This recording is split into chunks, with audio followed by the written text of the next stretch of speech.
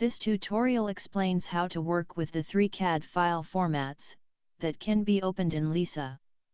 STEP, IGS, and STL. Once opened, STEP and IGS files are listed in the outline tree. You have to right-click the file name, and generate the mesh, before any geometry can be displayed. To change the generated mesh, right-click the file name, then select Meshing Parameters. Type a value, for the maximum element size. The other defaults can be accepted. Right-click the file name, to regenerate the mesh. No matter what units the CAD model is in, the auto mesher will always convert the model into millimeters. Use the tape measure tool to check the dimensions of the auto meshed part. It works by left-clicking and holding down the mouse from one node to another. The readout gives the distance between the two nodes. Right-click, to exit the tape measure tool. If you don't want to stay with the millimeter model created by the auto mesher, use the scale tool, to resize the model.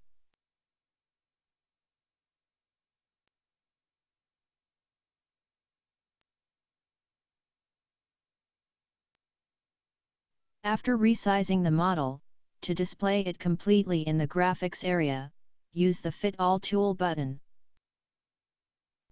The changed size can be checked, by using the tape measure tool.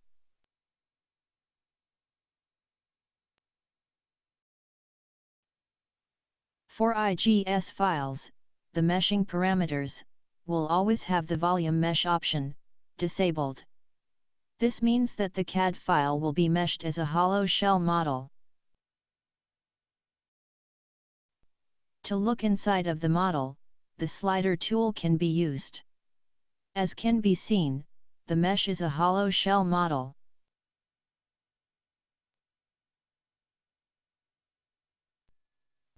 To convert the hollow shell element model into a solid element model, use the three-dimensional auto mesher.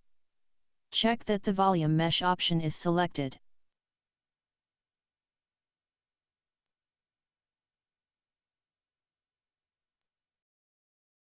The slider can be used to confirm that the mesh is now made of solid elements.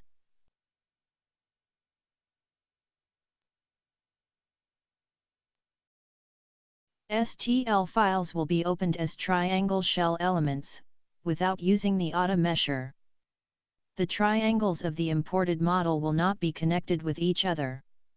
This can be seen by using the Open Cracks tool. A zoomed-in view will make it clearer.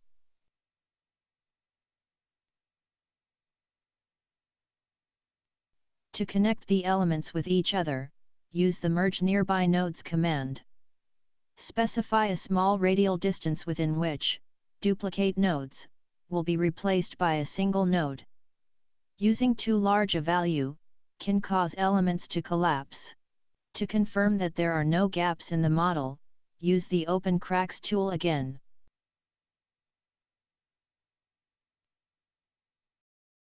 If you intend to perform a three-dimensional, static analysis with an imported STL file, the triangle shape will need to be converted to a quadrilateral.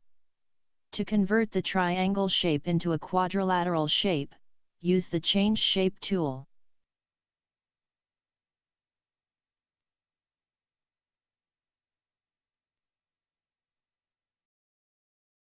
If you need to convert an STL shell element model into a solid element model, use the three-dimensional auto mesher. Check that the volume mesh option is selected.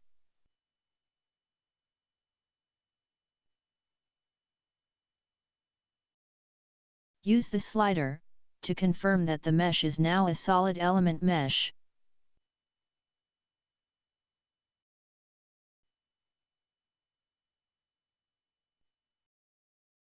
The auto mesher will fail to mesh an assembly CAD file, if it was created from multiple CAD part files.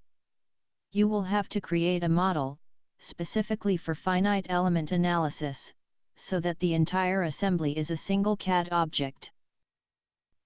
Try to prepare the CAD file to be suitable for finite element analysis.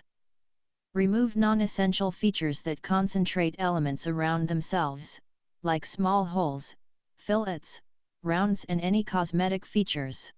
This ends the tutorial, on auto-meshing CAD files in Lisa. Please refer to the tutorial on local mesh refinement, to continue learning more about Lisa's capabilities.